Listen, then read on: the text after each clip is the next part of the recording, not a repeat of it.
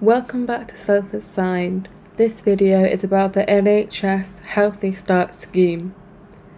As part of their commitment to ensuring each and every child has the best start possible, the NHS offers a Healthy Start voucher scheme.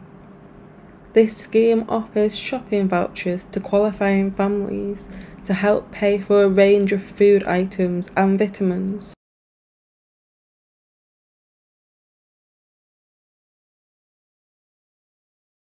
As an example, these items include milk, baby formula milk, fresh, frozen or tinned fruits and vegetables, vitamin supplements,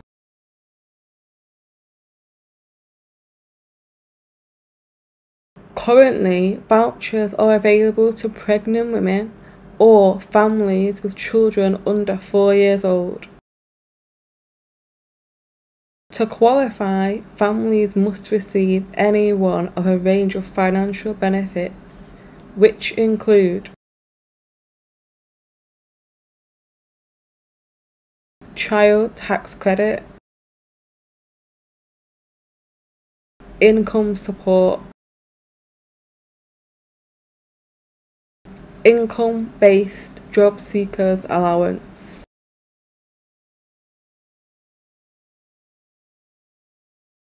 Universal credit, some types. Pension credit, some types. The current paper voucher scheme will be replaced with a prepaid plastic card in the coming months.